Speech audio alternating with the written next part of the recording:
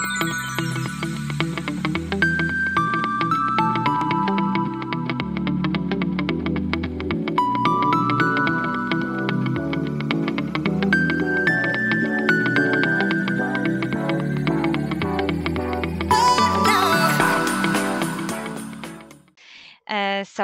dear participants, my name is Dr. Julia Zając, and I have a great pleasure to welcome you at another EuroBloodNet's um, Thursday webinar.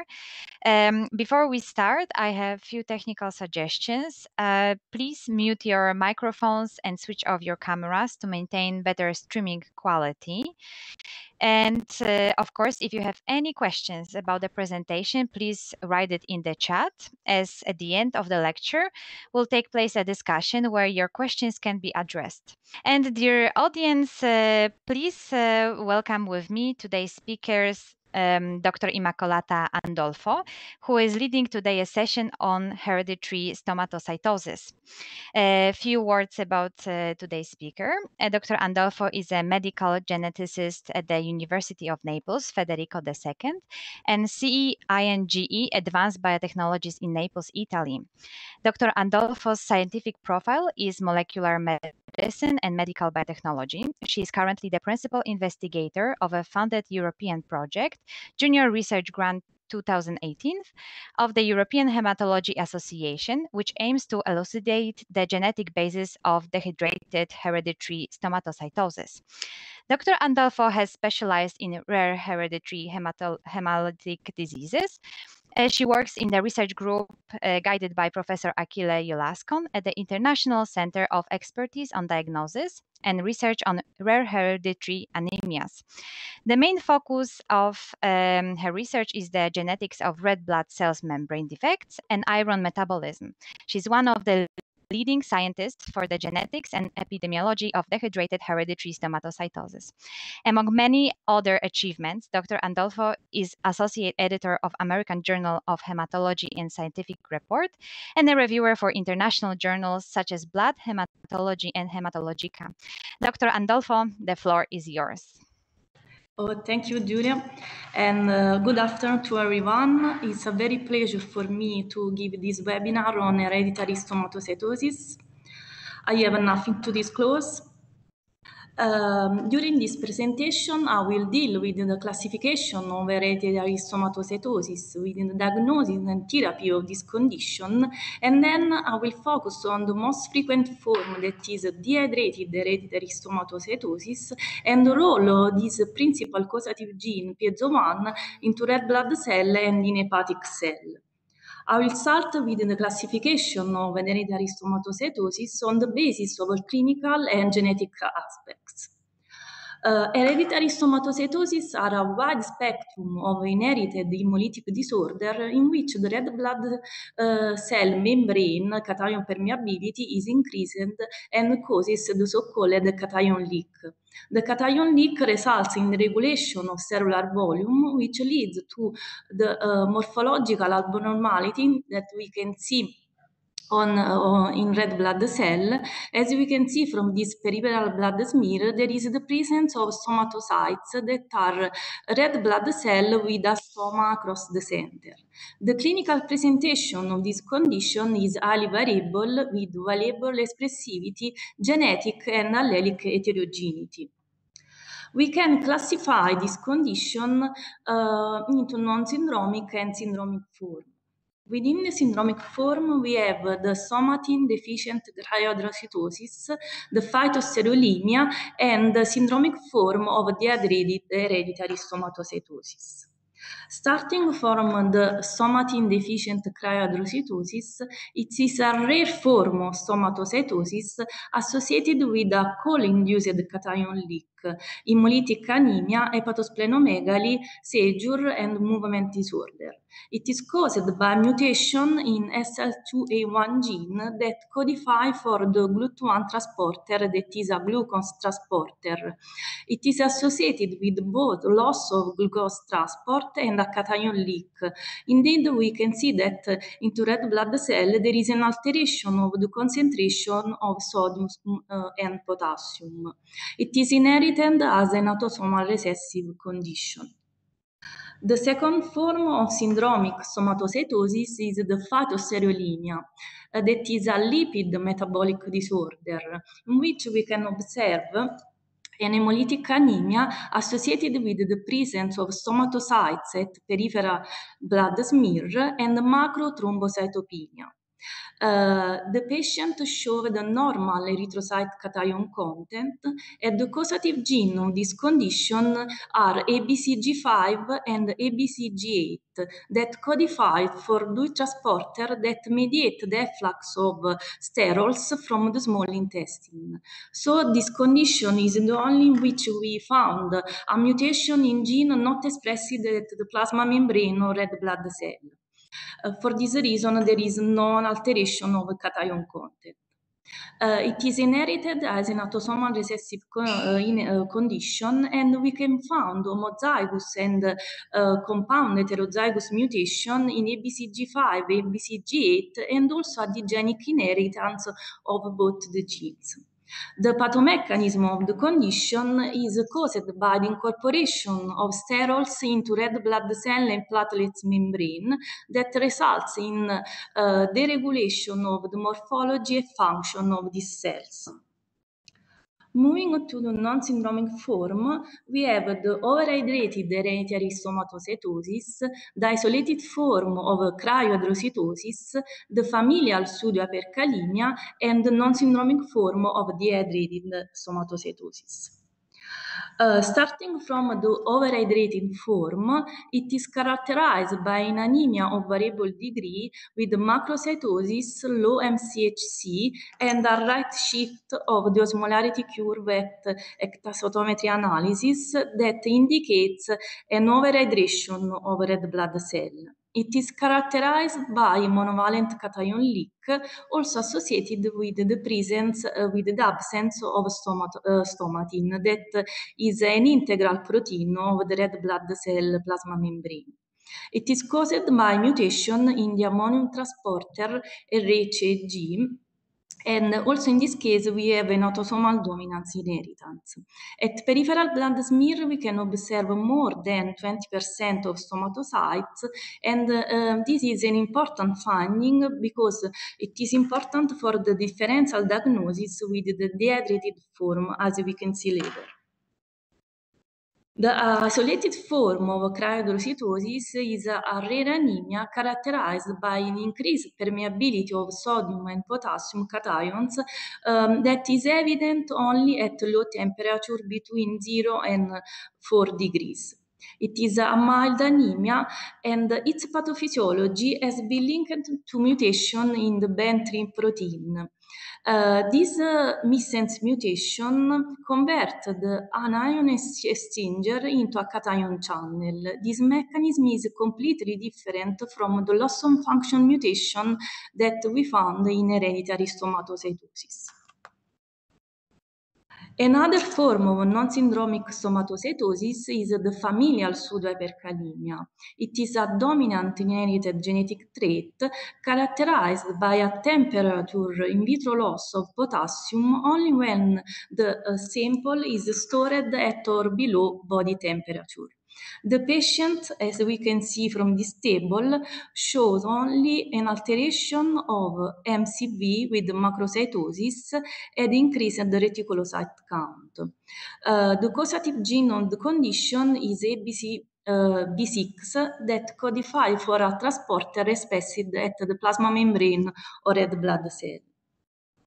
During the last year, we deeply studied the variants in this gene, and we found that um, causative variant, pathogenic variant in this gene are present in healthy subjects and also in blood donor population we uh, demonstrated that the storage of blood of this patient caused a significant increase in the blood potassium level, as we can see from this chart, and this can cause problems mostly in pediatric and neonatal care, and in the several cases of vulvar transfusion in infants uh, lead to cardiac arrest and death.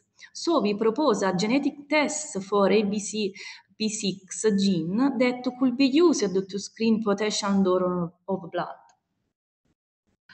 Moving to the most frequent form of stomatocytosis, dehydrated hereditary stomatocytosis is an autosomal dominant hemolytic anemia associated with cation leak. The two causative genes identified until now are piezo1 and KCNN4. It is a rare condition, but rather under diagnosis, and as we can see later. Uh, indeed, a recent study estimated an incidence of one case in 8,000 adults. The main characteristics of this anemia is macrocytosis with uh, mild anemia, uh, positive hemolytic markers such as reticulocyte count, LDH, uh, decreased level of haptoglobin, and increased level of bilirubin. There is splenomegaly and also gallstone. Of note, splenectomy in this condition is completely contraindicated due to the increasing risk of severe thromboembolic complication. At peripheral blood smear, we can observe a minor of 20% of stomatocytes in differential diagnosis with the overhereditary form in which we have more than 20% of stomatocytes. And in the syndromic form, we can observe the pre and prenatal edema, so pregnancy should be monitored in this patient, and also the presence of pseudohyperkalemia. The major complication of DHS is the severe iron overload with several cases of hepatosiderosis, and we can observe an increased level of ferritin, transferrin saturation, and liver iron concentration. Piezo1 is the first identified causative gene of this condition.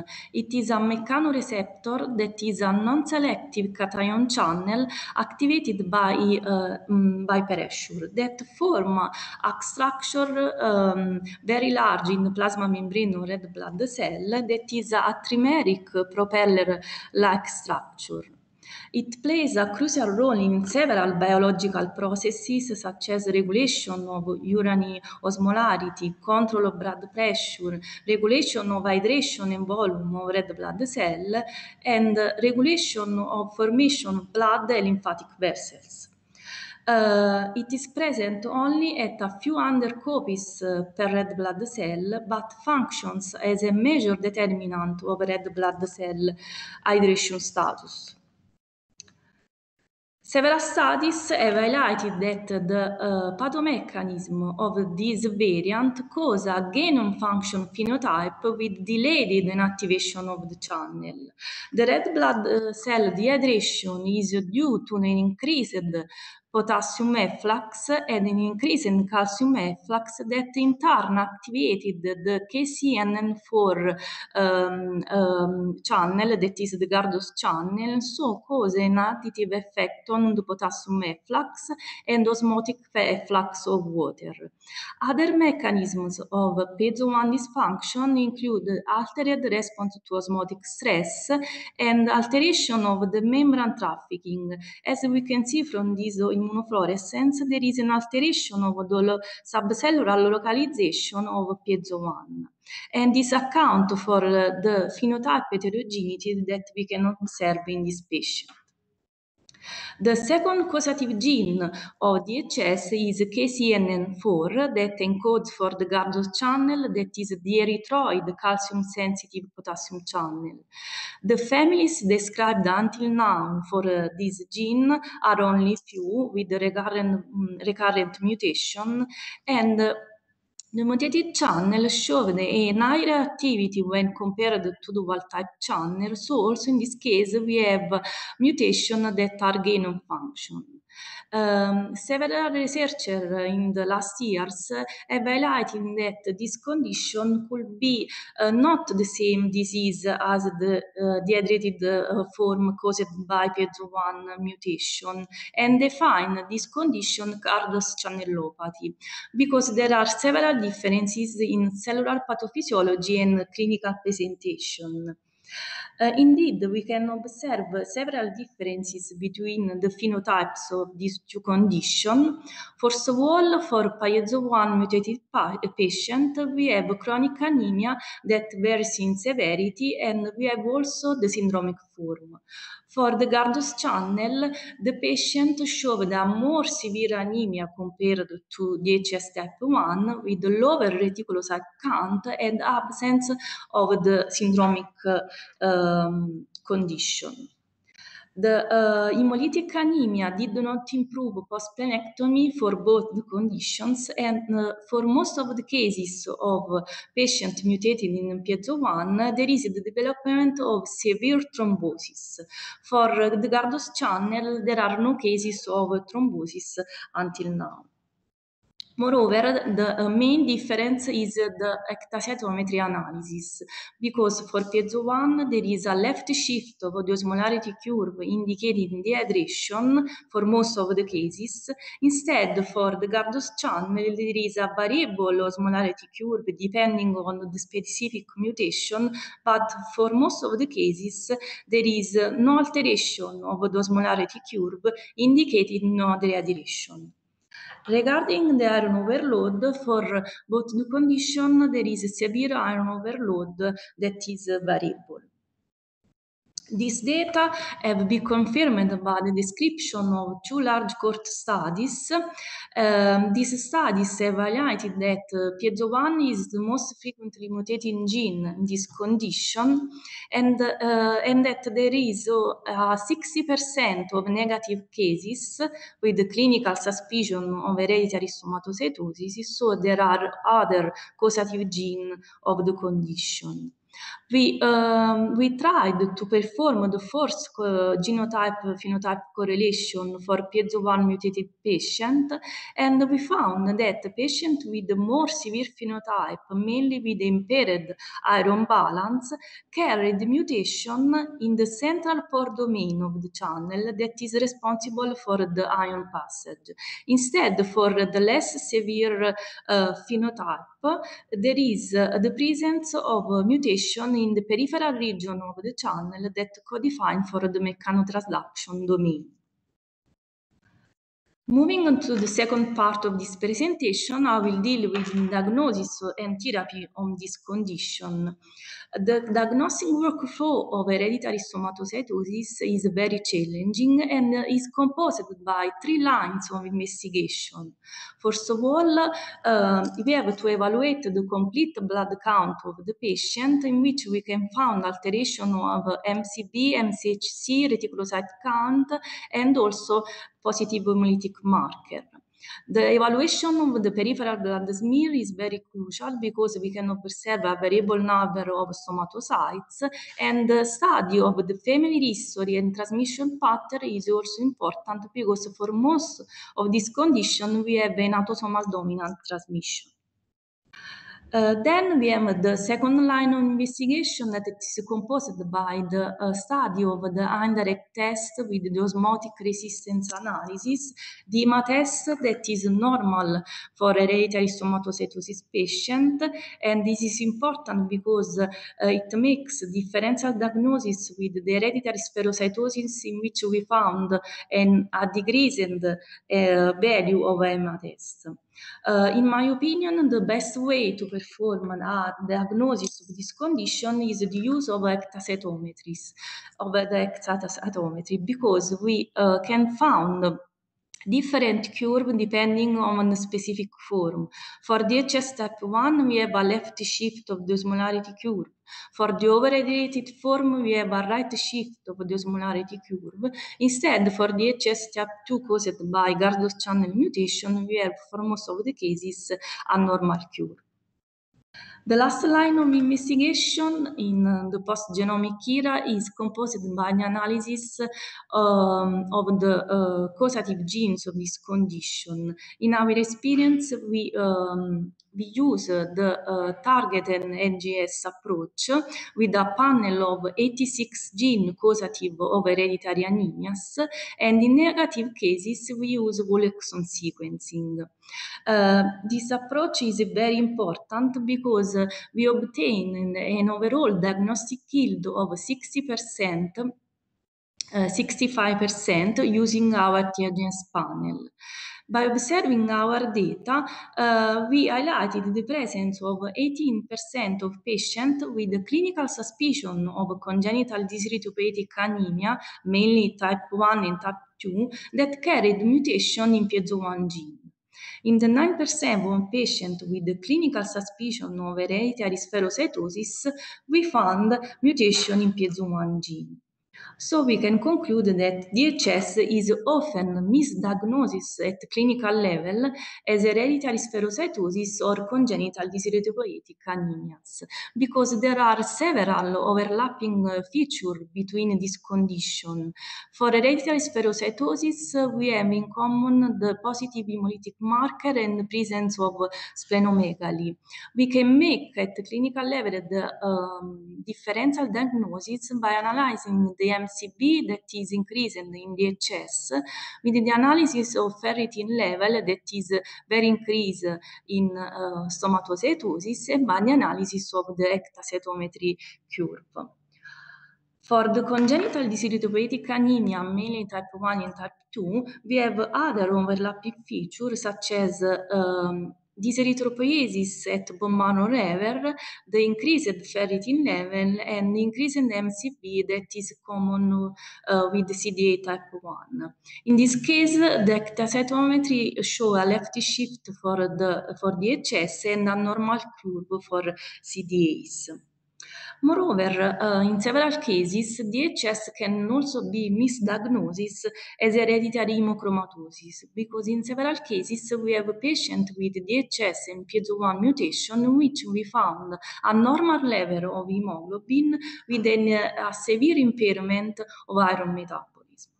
So the genetic analysis is very crucial for this condition, also to avoid not useful treatments such as splenectomy in case of differential diagnosis with hereditary spherocytosis, in which the splenectomy is beneficial instead for DHS is contraindicated.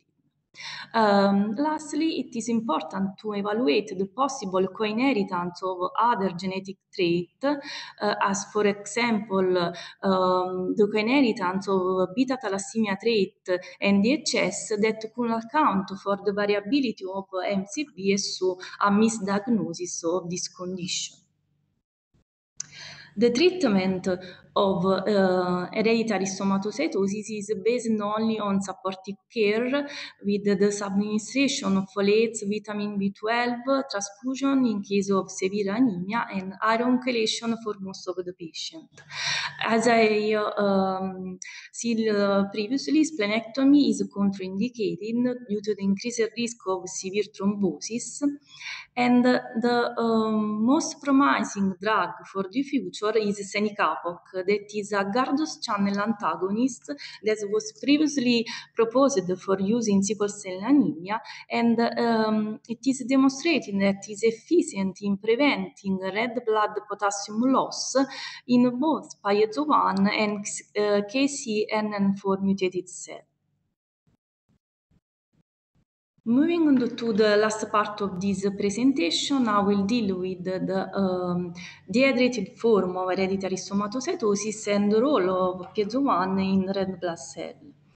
The major goal in this field was the development of the uh, first uh, mouse model of the condition, that is the constitutive piezo-1 gain of function transgenic mice that carried the most frequent mutation found in humans. As we can see at peripheral blood smear in this uh, mice model, we found the presence of stomatocytes. Moreover, uh, the mice shown uh, splenomegaly, mild anemia, increased MCV, and increased reticulocyte count. So gain function uh, piezo-1 mice display all the clinical features that we observe in human DHS and uh, also the red blood cell dehydration, mild anemia and splenomegaly. The study of this animal model will be very important for the um, for the understanding of the pathomechanism of this condition. Indeed, the study of this animal model highlighted that gain function piezo-1 mice showed an increased survival rate after infection with Plasmodium falciparum. Uh, moreover, a novel human gain-of-function PIEZO1 allele was found in one-third of the African population, and red blood cells from individuals carrying this allele are dehydrated and resistant to malaria. So we can speculate that the widespread of the variant of causative variant in PIEZO1 uh, in the Mediterranean area is due to the uh, resistance to malaria. Moreover, the role of piezo-1 during the erythroid differentiation was uh, recently discovered by um, several groups. Particularly, we demonstrated that um, piezo-1 patients showed uh, reduced reticulocyte count compared to other patients with anemia due to membrane defects, uh, as for example, hereditary spherocytosis, with a, a similar hemoglobin level. This suggested that piezo-1 patient may suffer from delayed erythrocyte maturation, and this was confirmed by in vitro culture assay that showed delayed in the erythrocyte differentiation of progenitor cell um, through a transcriptional regulation of several transcriptional factor. Uh, this finding is mutation dependent. Moreover, um, there uh, was a demonstration of the, of the characterization of reticulocyte uh, maturation alteration. Um, so DHS1 patient show difference in the uh, rate of the differentiation RNA content and so the activation of this channel impacts on the reticulocyte maturation. And this is in line with the observation of this erythropoiesis in these patients. Moving to the last part of this uh, presentation, I will deal with the, the role of piezo-1 in hepatic cell, uh, that is a recent discovery of our group. Uh, as I said previously, the, this, the patient with piezo-1 mutation um, showed a severe iron overload with several cases of hepatosiderosis. The hepatic iron overload is independent from the degree of anemia, the transfusion regimen, and splenectomy ectomy. The ferritin and the ferritin age ratio is very high, and there is a poor correlation between the ferritin level and the liver iron concentration because we found patients with uh, only a mild increase of ferritin, which we can find a very high concentration of uh, liver iron. Uh, and I previously said that most of the patients with a severe phenotype, mainly with impaired iron balance, carried mutation in the pore domain of the channel.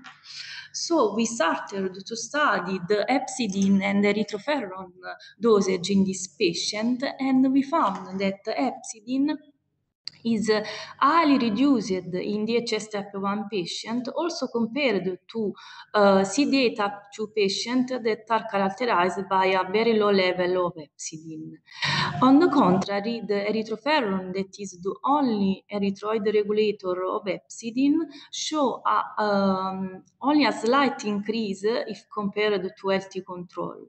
So we hypothesize that hepcidin expression is impaired in these patients by a mechanism only partially regulated by erythroferrone. And for this reason, we started to analyze the piezo-1 expression in the liver, and we confirmed and further demonstrated that piezo-1 is expressed in the human and mouse liver. And moreover, we demonstrated that after the activation of the channel by IODA1, there is an increase in the intracellular calcium concentration in primary hepatocyte. Uh, after the inhibition of the channel by GSMTX4, there is the restoring of the intracellular calcium concentration. The activation of the channel leads to the AMP gene expression suppression. AMP codifies for hepcidin. This observation was confirmed in another cell line and also by the expression of two gain-of-function mutation of piezo-1. Also in this case, uh, the inhibition of the channel leads to the rescue of the phenotype observed.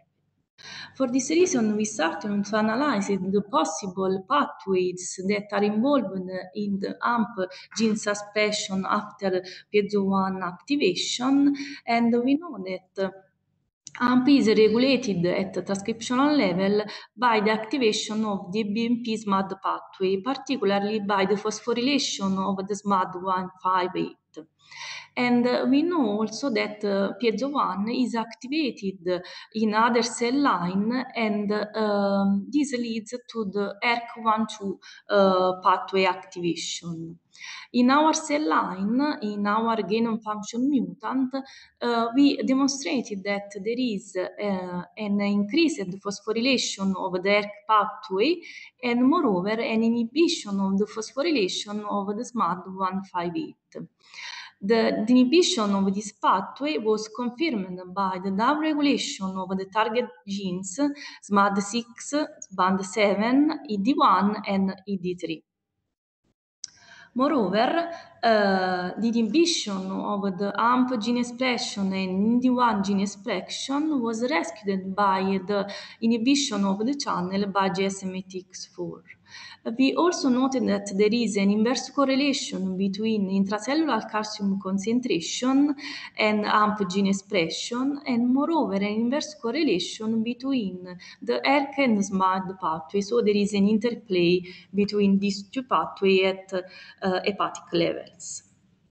So we can conclude that the pathogenic mechanism of this condition is characterized by an hemolytic anemia in which we can observe an, a macrocytosis with the impairment of the permeability to cation of the plasma membrane or red blood cell that is caused by the alteration of the kinetics or of piezo-1 and KCNN4 um, during the erythroid differentiation in this, in this patient, we noted uh, an alteration at the final stage of erythroid differentiation with stress at the erythropoiesis and impairment of the reticulocyte count. The major complication of this condition is the thrombosis post-splenectomy and the severe hepatic iron overload with very low level of hepcidin and only a slight increase of erythroferrone. The uh, very low level of hepcidin is directly caused by the activation of PIEZO1 at hepatic level that leads to the activation of the ERK pathway by the increased intracellular calcium concentration that leads to the um, uh, inhibition of the SMAD pathway, SMAD pathway that cannot transcribe for hepcidin. In conclusion, the take-home message of this webinar are that the hereditary stomatocytosis are a wide spectrum of inherited hemolytic disorders in which the red blood cell membrane cation permeability is increased. The dehydrated form is the most frequent condition within this class of anemias. It is an autosomal dominant hemolytic anemia caused by of function mutation both PIEZO1 and KCNN4 genes.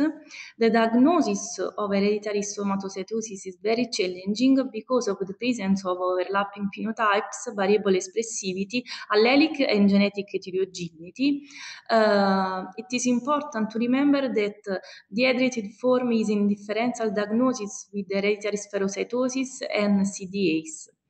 The gain of function mutation in piezo-1 caused impaired erythroid differentiation and reticulocyte maturation and also a decreased plasmodic infection, so resistant to malaria. The iron overload, hepatic iron overload in this patient is directly caused by gain of function mutation of piezo-1 at hepatic level by impairing of AMP gene expression.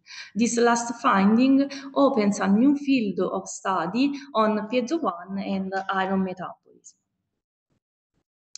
I'd like to thank my mentor, Professor Achille Iolascon, my colleague, uh, colleagues, in particularly Dr. Roberta Russo, the PhD student Barbara Eleni Rosato and Roberta Marra, the EuroBloodNet for uh, uh, this webinar, for this occasion, and you for your attention. Thank you very much, uh, Dr. Andolfo, for this comprehensive uh, presentation. Um, and now I would like to invite uh, the audience to ask questions. Uh, please write them in the chat. Uh, the first question is if the phenotype is severe, has any patient been transplanted? Uh, in literature, there are no description of uh, bone marrow transplantation for hereditary stomatocytosis patient um, because in most of the cases the anemia is not severe. The major problem is the severe iron overload, the severe hepatic iron overload. Uh, also in our uh, cohort of patients, there are no cases of bone marrow transplantations. Uh, for the second question, did you check for mutation in HAMP associated with the PIEZO1 mutation in your cohort? Uh, yes. Uh, all our patients are analyzed by the, our panel that comprises the analysis of the causative gene uh, of hereditary hemochromatosis and also for the HAMP gene, and we did not find uh, we don't find mutation in this gene but there are cases uh, described in literature uh, in a study of Patricia that highlighted the presence of mutation in this gene that could account for the variability of the phenotype observed and for the a more severe phenotype for the hepatic iron overload. So there are so there are cases of AMP uh, mutation in these patients.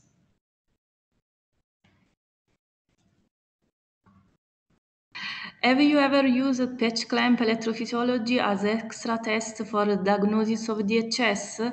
Uh, yes, uh, in the case of, uh, of a variant of unknown significance, uh, after the evaluation of the ektacytometry of the blood count, uh, so after a reverse phenotyping of our patient, uh, we perform, we also performed electrophysiology studies in collaboration with the group of uh, Professor Seth Alper in Boston. Uh, and in our, in my opinion, the electrophysiology study is uh, the most reliable study to analyze the pathogenicity of the piezo-1 variant. Uh, moreover, we have another another assay to test the um, uh, the pathogenicity of uh, piezo-1 variant, we applied a cation flux assay on red blood cell or we cloned the uh, mutation that we are testing and we performed a cation flux assay in other cell line, for example, HEC293. But, but the best way is always the electrophysiology studies.